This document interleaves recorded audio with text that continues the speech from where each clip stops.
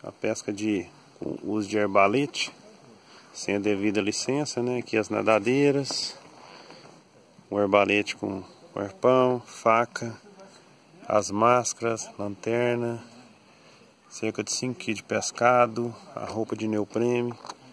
Vai ser feita a doação administrativa, pois não tem licença de pesca para fazer esse tipo de, de pesca aqui nessa início de madrugada na MGC 154 KM54.